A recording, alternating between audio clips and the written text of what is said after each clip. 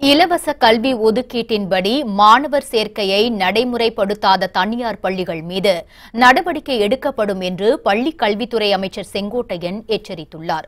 பொள்ளாச்சி தனியார் பொறியியல் கல்லூரியின் அறிவியல் கண்காட்சியில் அமைச்சர்கள் செங்கோட்டையன் உடுமலை ராதாகிருஷ்ணன் தொடங்கி வைத்தனர். அப்போது பேசிய செங்கோட்டையன் வேலைவாய்ப்பை உறுதிப்படுத்தும் வகையில் புதிய பாடத்திட்டங்கள் இணைக்கப்பட உள்ளதாக கூறினார். தமிழகத்தில் இருபத்தி ஐந்து சதவீத இலவச கல்வி ஒதுக்கீட்டில் விண்ணப்பிக்கும் மாணவர்களை பள்ளியில் சேர்க்காத தனியார் பள்ளிகள் மீது நடவடிக்கை எடுக்கப்படும் என்று அவர் தெரிவித்தார்.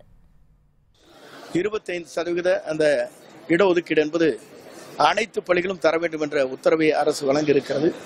எந்த பள்ளிகளிலே ஆன்லைன் மூலமாக அவர்கள் பதிவு செய்திருந்தாலும் வழங்கவில்லை என்று சொன்னால் அரசு அதற்குரிய நடவடிக்கை மேற்கொள்ளும். புதிய பாடத்திட்டங்களை கொண்டு வருவதற்காக அதில் இணைக்கப்படுகிற பாடத்திட்டங்கள் எழுபத்தி ரெண்டு தொழிற்கல்வியை கற்றுத்தருகின்ற அளவிற்கு அதிலே பாடத்திட்டங்களே அமையும்.